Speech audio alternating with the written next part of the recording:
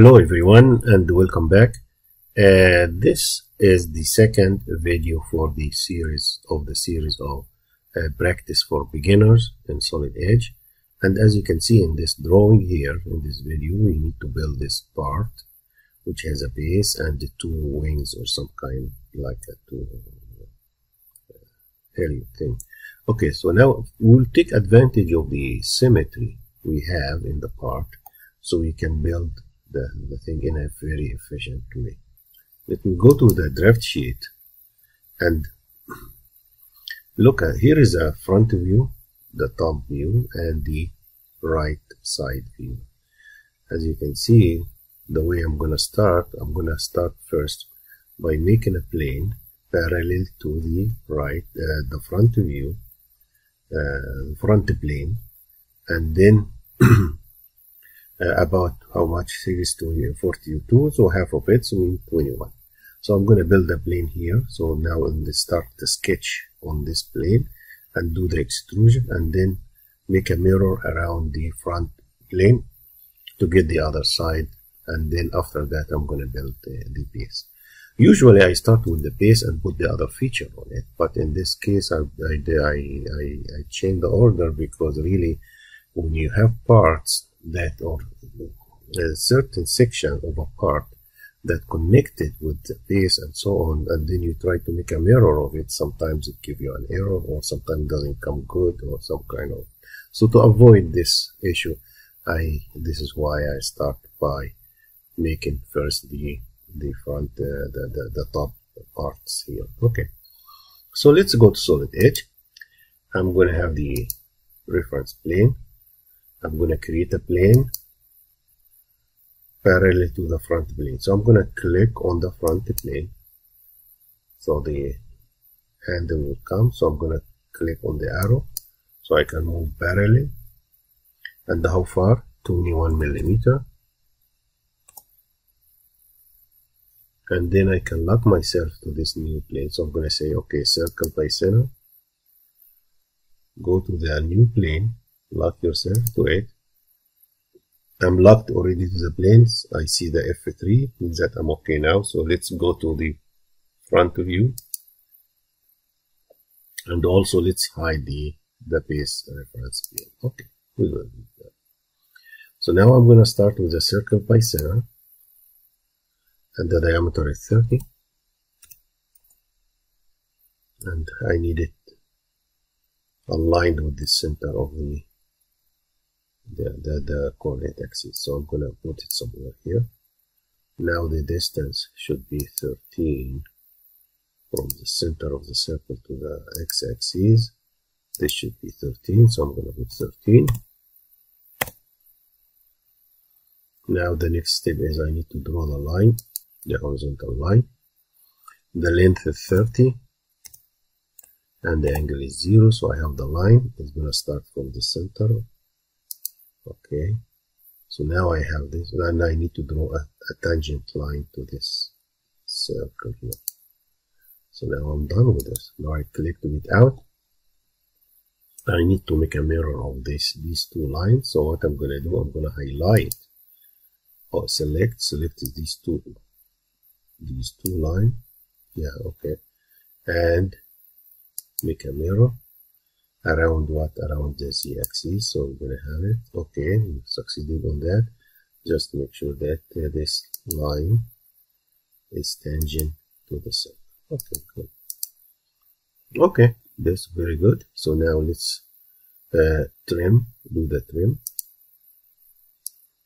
Get rid of this one get rid of this one and get rid of this one. Did a circle by center so can do the other circles here? So the first one is going to be I'm going to start with the smaller one 6 millimeter. Highlight this thing so I can go to the center. I'm going to click. The next one is 12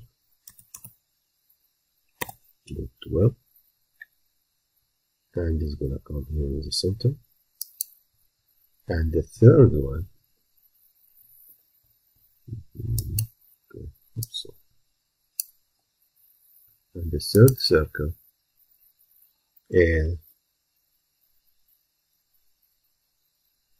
Yes, okay, from 20.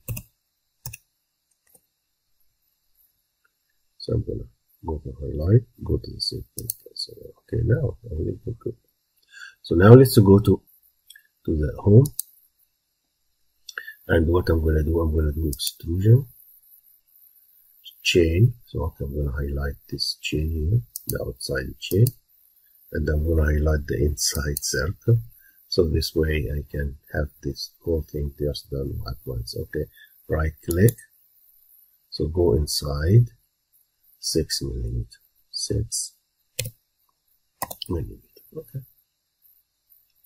So now we got this one. Now need I need to do the the outside the, the, the extrusion. So I'm gonna say extrusion.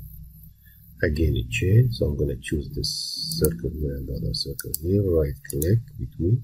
So I'm gonna move for up about three millimeter. Okay so I'm done with that. Okay.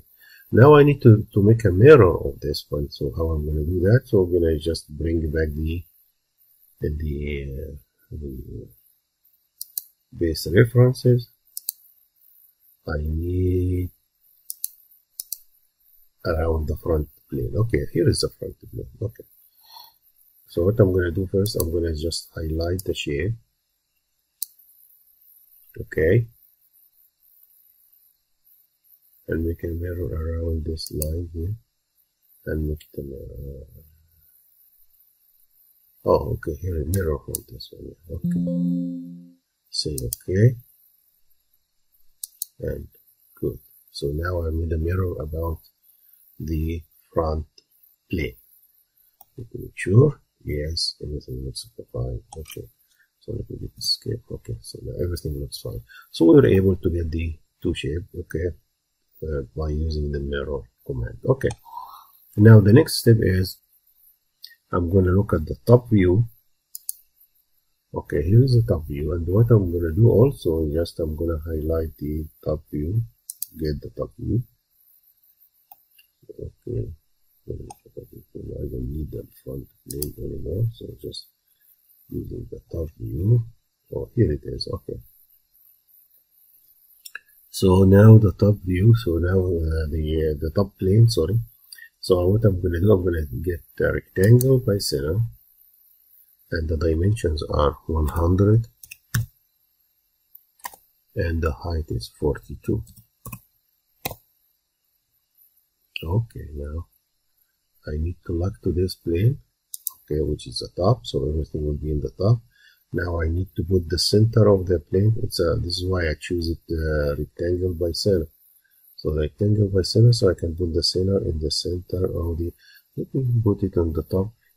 Choose the top so this and I put it exactly on the coordinate plane. Okay axis okay so now we have the thing everything is aligned very well so now the next step is I get the circle which is 30 millimeter.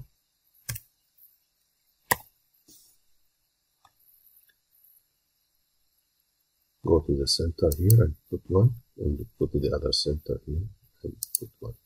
Since I'm unlocked so I'm going to use the trim feature.